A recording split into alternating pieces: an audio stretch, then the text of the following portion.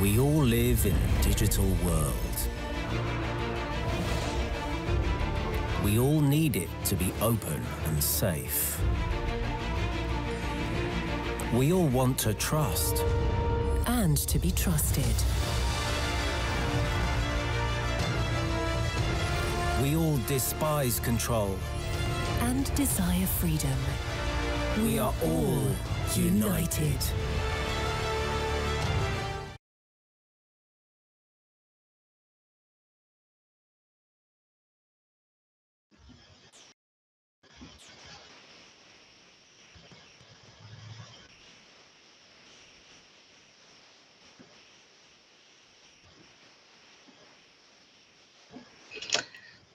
Hello, everybody. Um, thank you so much for this opportunity to speak to you today. As Australia's e-safety commissioner, heading up the world's first online safety regulator, I'm really excited to share with you Australia's approach to regulating online harms. During a time when there's global recognition of the importance of online safety regulation um, and how that might be done to make sure that we're preserving freedoms of expression, um, but also allowing the innovation and technology to thrive. During the presentation, please feel free to send through any question in the chat function and my moderators, Julia and Ella, will collate questions and respond directly to you. There'll be time at the end of the presentation for questions. Next slide.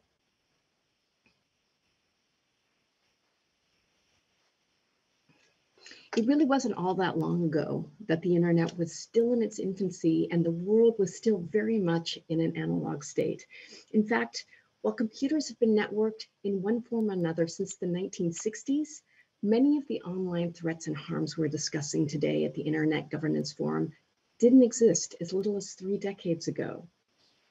It wasn't really until the 1990s when affordable personal computers met the 500, the 56K modem that the internet really took off. These game-changing devices finally brought the internet to the masses. Now, from my experience working in tech during the 1990s, it was a time of great promise.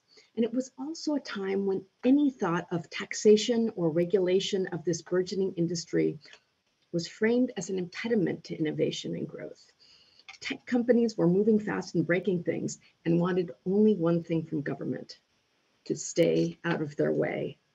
And for many decades, governments all around the world were happy to oblige.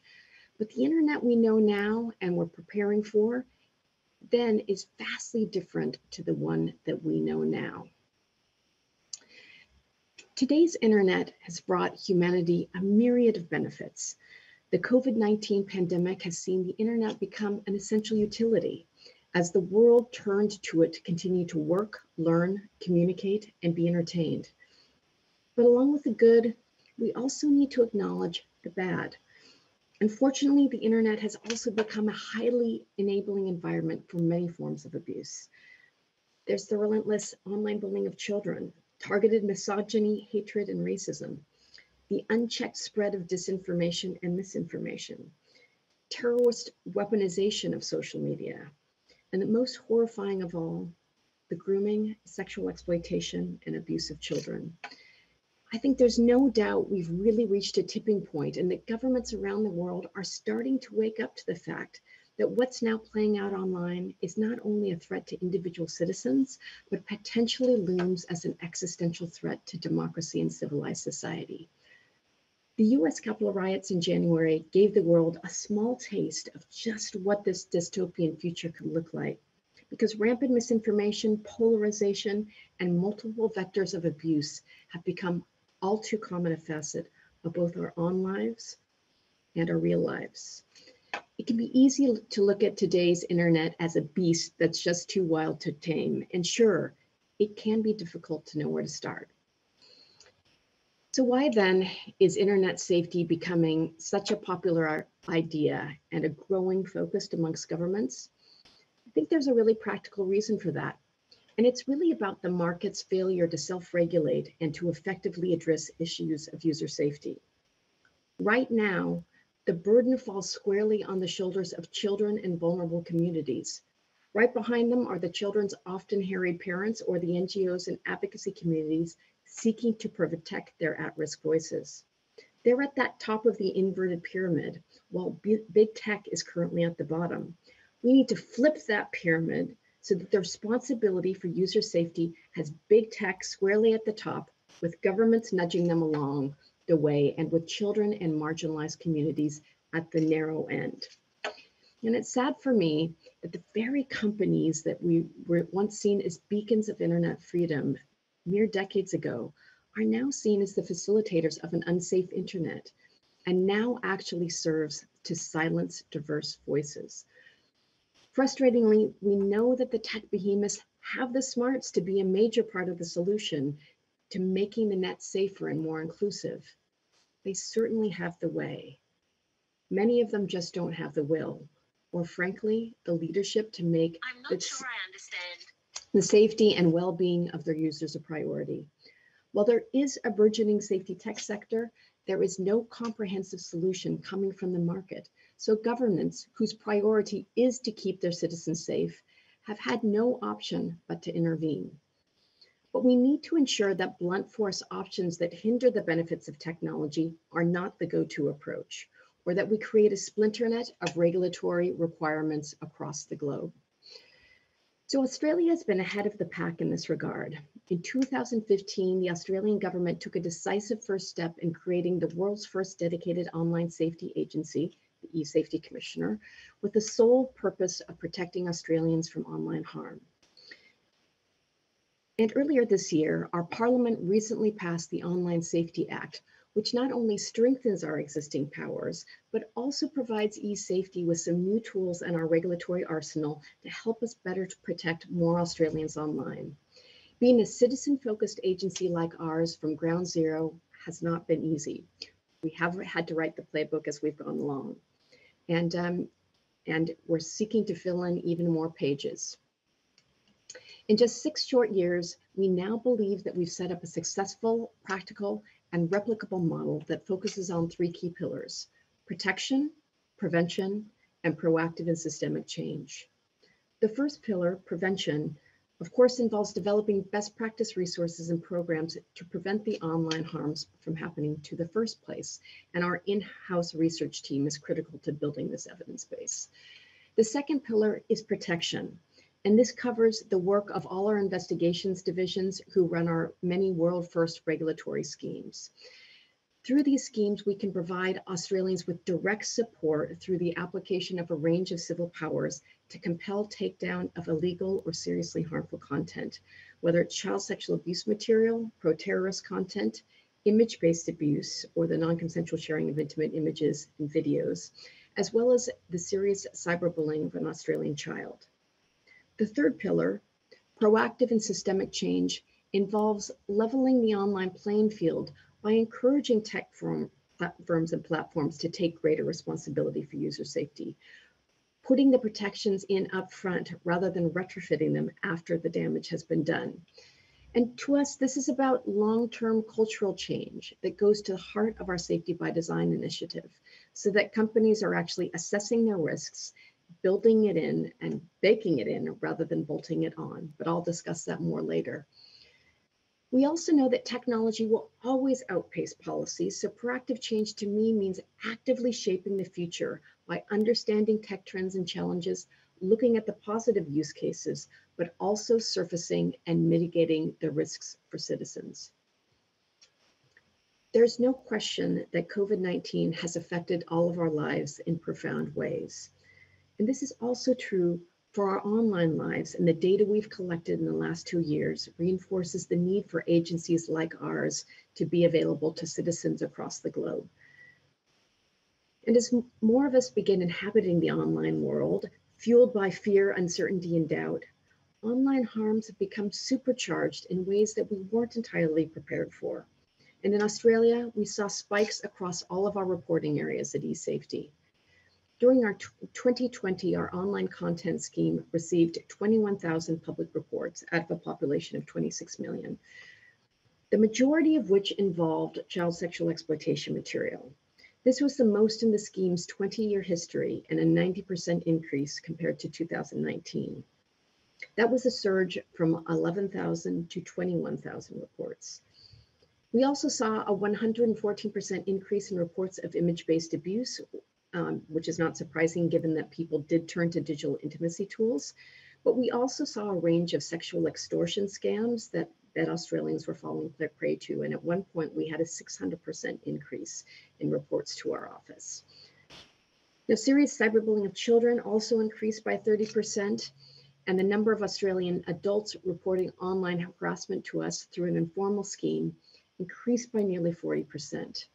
And sadly, these elevated levels of online abuse have shown no signs of abating in 2021.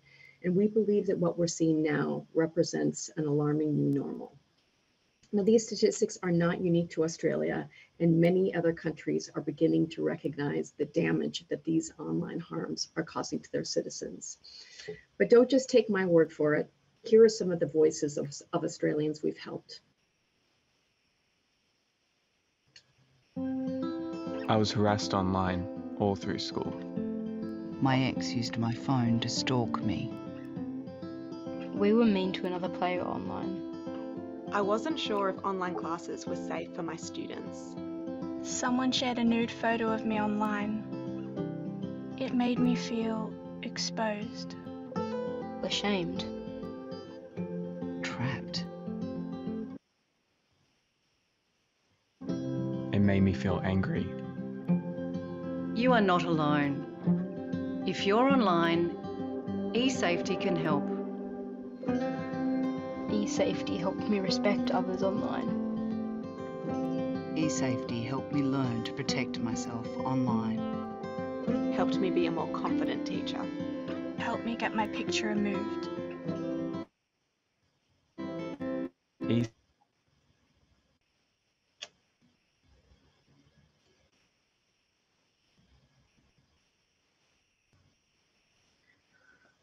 Well, it Safety seems helped me some- find the right support. it seems that sometimes buffering um, isn't perfect either. Um, but what does set Australia apart from other jurisdictions is, is that what we are doing to combat these numbers. This includes world-leading new online safety reforms passed by the Australian government in July. The Online Safety Act, which comes into effect on the 23rd of January next year, will significantly bolster e-safety's protective powers. The strengthened laws will help more Australians who experience online harms and lift industry standards. The new laws will provide enhanced powers to significantly boost all protections for Australians. So our existing cyberbullying scheme will be expanded to provide protection to children being bullied on all online environments, not just social media. And this includes dating sites and online gaming platforms. The most significant change to the Act, however, is to bring about a new world first adult cyber abuse scheme. And this will enable eSafety to require the removal of serious cyber abuse targeting a specific Australian adult where that material is intended to cause serious harm and is menacing, harassing, and offensive in all cases. So we're trying to really balance freedom of expression and period and uh, opinion on one side with that harmful targeted harassment that is really meant to cause harm and silence voices. We'll also strengthen our image-based abuse scheme by enabling us to rapidly and more expeditiously remove that content, so reducing the times that sites must respond from 48 hours to 24 hours. As it stands now, we have an 85% success rate in terms of getting these images and videos down from sites all over the globe. globe. So the Act also carries significant fines for offenders and makes provision for hefty penalties for platforms who fail to remove seriously harmful content. So not only to penalize, but also to deter, so that abuse like this cannot happen with total impunity. And I'm happy to answer more of your questions about the diverse tools as part of this Act. But I want to turn now to safety by design. Along with our new powers, there will be an underpinning regulatory regime that gives us a modern, effective set of graduated tools to un address online harms. But unless we're really addressing the fundamentals and the foundations of the internet in terms of making the platforms and the internet infrastructure we're all using safer, um, we're never going to regulate our way out of this. We're going to end up playing a game of whack-a-mole.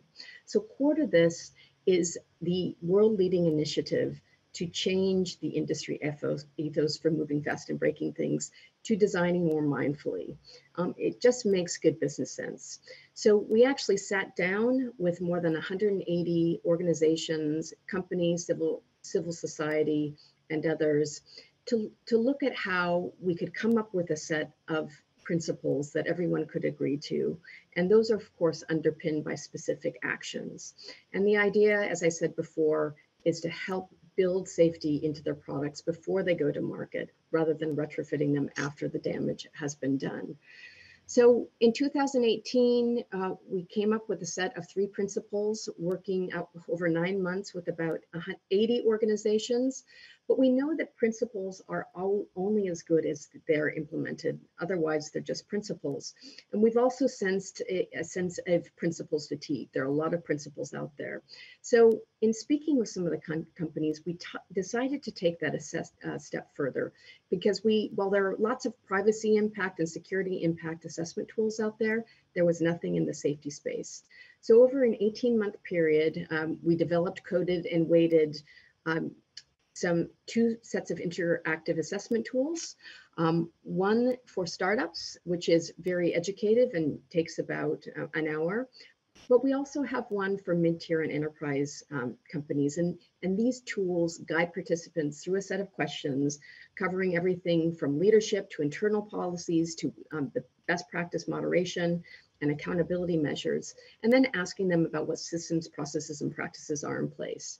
Um, it spits out a safety health check or an impact assessment, if you will. And we're pleased to say that companies from 32 countries have now accessed the tools and these health, health, health checks. And because they're educative, we don't want any company, particularly a startup, to be able to say, we just didn't know how our platforms would be weaponized or what the harms were. This lays it out all out for them, um, is totally free, and we've had an independent audit uh, by, by a privacy organization just to give uh, companies comfort that no information is being collected on the back end. The whole idea here is to lift safe, safety standards um, and hopefully people will be able to um, better comply with, with laws and keep their users safer if they're actually utilizing these tools. Uh, just quickly, um, you might be wondering with all these new regulatory powers, how, when, and where we will choose to wield them. Now, building on and drawing from our experience over the past six years, I'm here to tell you that we will continue as we've always done by applying a harms-based lens and taking an outcomes-based approach to everything that we do. So where appropriate, we'll continue our collaborative approach with industry through the operation of our regulatory schemes. And to give you an example, 90% of the youth-based cyberbullying cases that we've settled in terms of removing content have been done collaboratively without us having to issue a removal notice. So this collaboration is very important.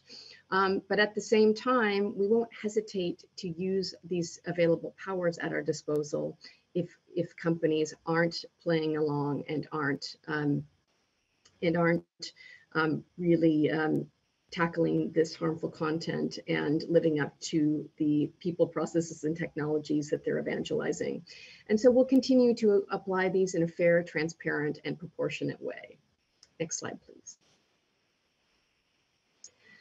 So many of you joining today are really in the same boat and are operating in a very complicated online environment. Sadly, today, the debate is often characterized by binary views of the need to uphold privacy and security or safety and protection. And it's vital that the technology industry and wider society start to reframe how we're viewing these most pressing online problems. It's my belief that we have to stop thinking of privacy, security, and safety as mutually exclusive.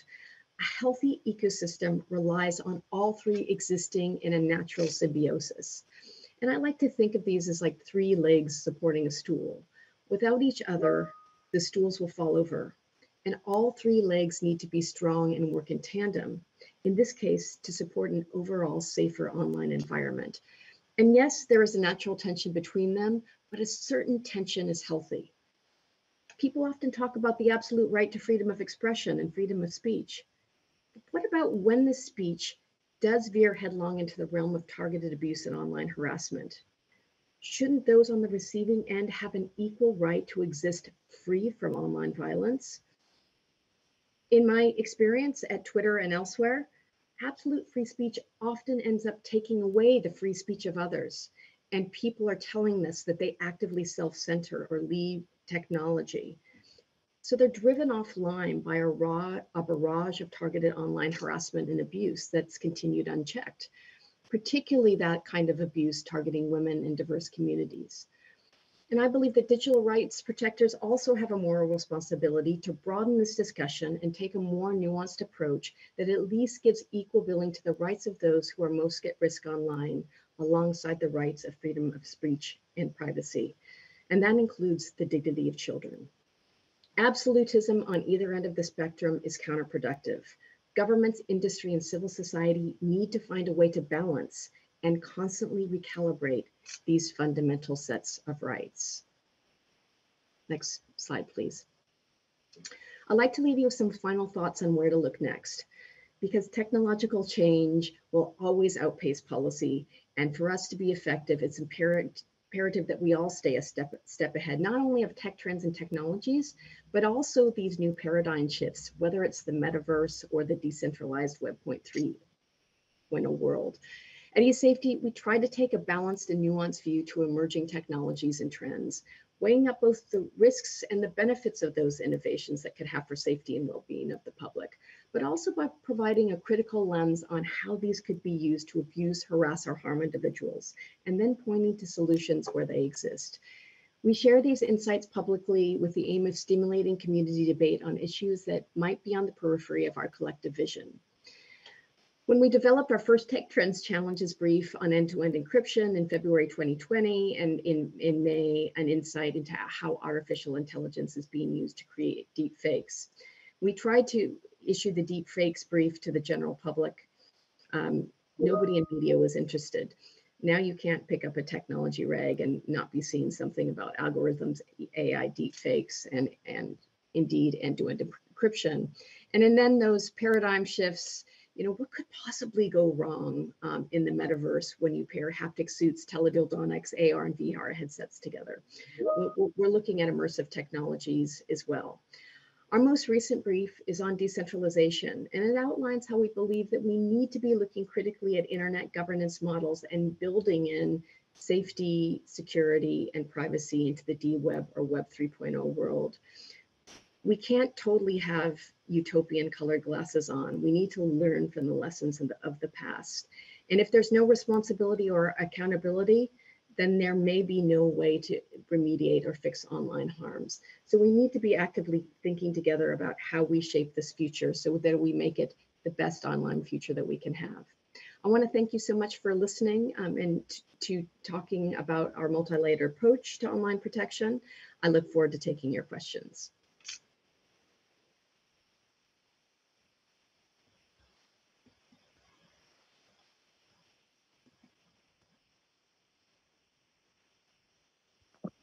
Uh, thank you so much, Commissioner, for your presentation. We do have a question in the chat.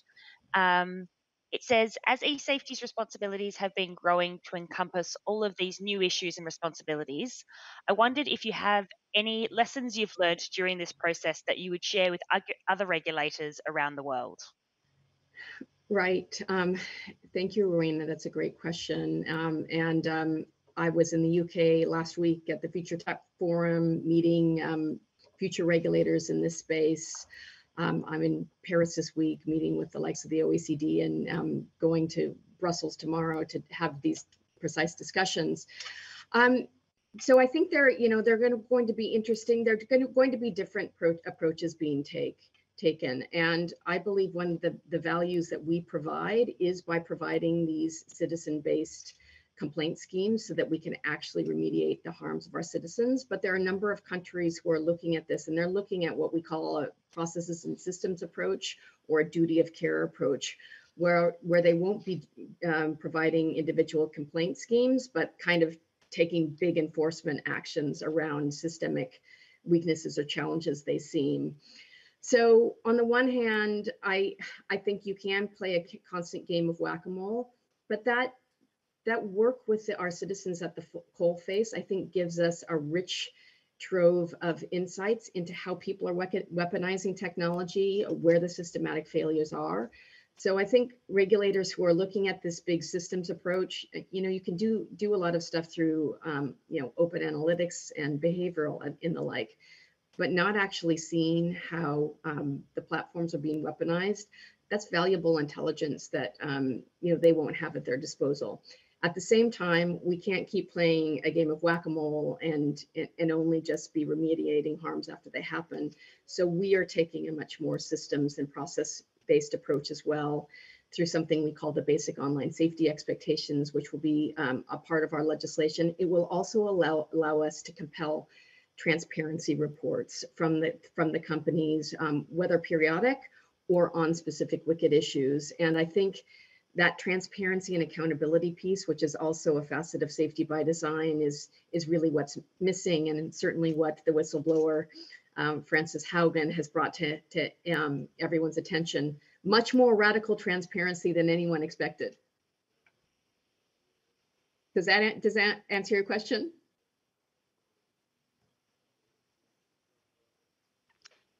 Rowena has said yes. Thank you, Julie. Um, there's a comment from uh, Nigel, uh, which says, "Thank you to coming. Thanks for coming to the Future Tech Forum last week. Your work is really important. Our WIN legislation will benefit from the experience of others, which is uh, great to hear." Um, yeah, thank you, Nigel. That was a great opportunity, um, and I, I, thought DCMS did an incredible job of, of um, organizing that, particularly uh, with Omicron and throwing them some prizes. Um, we've had some wonderful conversations with DCMS, but also with Dame Melanie Dawes, um, you know, the, the, chair of Ofcom. And I think they, um, you know, by necessity, there's going to have to be uh, global co collaboration on, on all this. And while I think we all want to be on a similar trajectory, of course, governments are going to take slightly different um, approaches to all of this. We just need to make sure that, um, you know, that this regulation is workable and that companies um, can can can comply around the globe.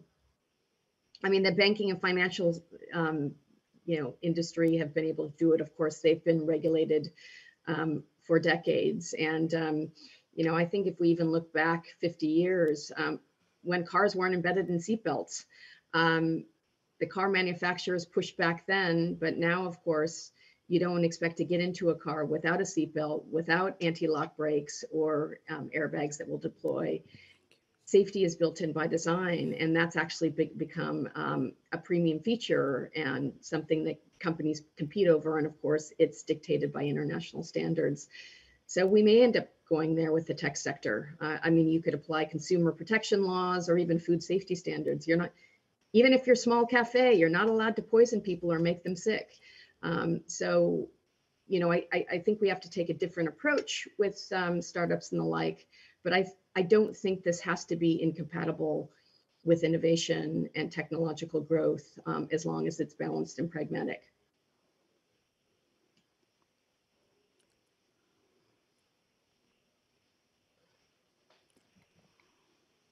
Thanks, Commissioner. Um, there are a couple of other comments uh, thanking you for your for the excellent and, informative session. Uh, one other uh, question that's come through on a policy matter. Um, someone is interested to know about some of the safety risks associated with um, extended reality and immersive technologies that you mentioned, um, and what are some of the key considerations we might need to think about um, in in regulating this space. Uh, yeah, well, um, I, I think, um, of course, mindful privacy and safety by design um, is, is going to be really important uh, with immersive technologies. You know, I would welcome people to go to um, look at our tech trends and challenges briefs, and this one particularly on immersive technologies at esafety.gov.au. Um, we take an interesting process. We, of course, um, look at research um, you know, wherever we can find it. And then we um, compare that with investigative data and it ends up being a, a cross disciplinary approach. And one of the things that we're concerned about, of course, is is the weaponization of image-based abuse and what we call um, rape by default. Um, and while I was trying to make a joke that probably wasn't very funny, it is true that I mean we're we're talking about you know haptic suits where you have feelings and teledildonics and um, AR and VR, so hyper realistic experiences. So if you can have a hyper realistic, um, you know, pleasurable sexual experience, you can probably have a very frightening and awful um, experience of sexual assault at the same time. So it's sometimes it's it's hard to be able to predict or war game what the risks or the harms might be in the future. Um, I found in my um, 30 years in working in this area that human beings have tremendous creative potential for um, you know misusing and weaponizing technology um, that we might not even contemplate. But I think, um, again, I think the message here is let's actively shape the future rather than letting the future happen to us um, and then have to clean up the mess afterwards. Thanks, Commissioner. And we have one uh, final question uh, from the audience on site in Poland. Could I please hand over to uh, the IGF team for that question? Um, Um, thank you very much, Commissioner. Uh, it was a very good presentation. And I have a question. Um, I myself am a female parliamentarian from Tanzania. And I like the fact that you expressed um, a lot of um, online abuse is being subjected to women, especially in developing areas. I wanted to find out what is your experience in, in, in making online a safe space for women parliamentarians in Australia and for developing countries like Tanzania and others, you know, what could be done in partnership with your organization to ensure that we have more women politicians online because the continuous um, aggressive abuse that we endure you know, leads to other women parliamentarians and other women politicians deciding not to be online, and that contributes to the, to the already huge um, digital gender divide and by not having us as legislators and policymakers online, it, it somewhat um, defeats the purpose of that connectivity and close engagement um, between ourselves and those that we lead in our respective areas. Thank you. A hundred percent. And um, first of all, thank you for your bravery. And I'm so sorry you've experienced this. I would say that that is a universal experience of women in any kind of spotlight, whether they're politicians, whether they're journalists, um, entertainers, or in sport. Um, and in fact, we'll be putting out some some research uh, very shortly um, where we spoke to a range of professional women who said, and 35% of them said that they self-censor um, so, so that they won't cop online abuse. They think of it as just the cost of doing um, online business. I think what a lot of um, men don't understand, frankly, is that the way that um, misogynistic targeted online harassment targeting women, it manifests differently. It's sexualized, it's violent, it talks about rape, appearance, um, even, you know, your supposed virtue or fertility um, in ways that men don't experience it. And it's meant to be menacing, harassing. And I, in fact, believe that it entrenches gender inequality. And that's precisely what it's designed to do. In fact, in the study that we're going to be releasing, 25% of women said they actually didn't take um, a promotion or a more senior leadership role because it would require them having an online presence and they just didn't want to deal with that. So um, we really need to tackle this. We'll be tackling this, of course, uh, through our uh, online abuse scheme, um, but we also have some programs and some cyber abuse guidance. We have a program called Women in the Spotlight and it's social media self-defense training that we've been delivering to parliamentarians. I am really sorry, but I am going to have to, I have to run to catch a, a, train to, to Brussels. Um, but um, Ella and um, Julia will remain on and can answer some questions. But I do uh, recommend you you go to our website. You know, we are trying to really shape the future.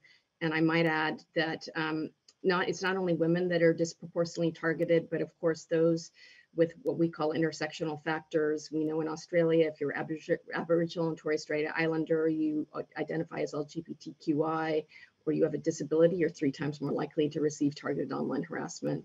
It has to stop. Um, you know, we know that humans are in the frame and the platforms just provide the amplification mechanisms. But if we allow that continue without, um, with total impunity, then we will normalize that behavior and um, we won't have the societal change that we really need to see. So thank you so much, everyone. Thank you so much, Commissioner. It was great to hear from you today. Um, I think this session is due to finish now. Um, however, if people do have uh, follow-up questions, would like more information, please do not hesitate to get in touch with the team. Uh, the email address is international at esafety.gov.au. Thank you all so much for your attendance today, and we look forward to collaborating with you in the future. Thank you and enjoy the rest of the Internet Governance Forum. Thank you. We all live in a digital world. We all need it to be open and safe. We all want to trust. And to be trusted. We all despise control. And desire freedom. We are all united.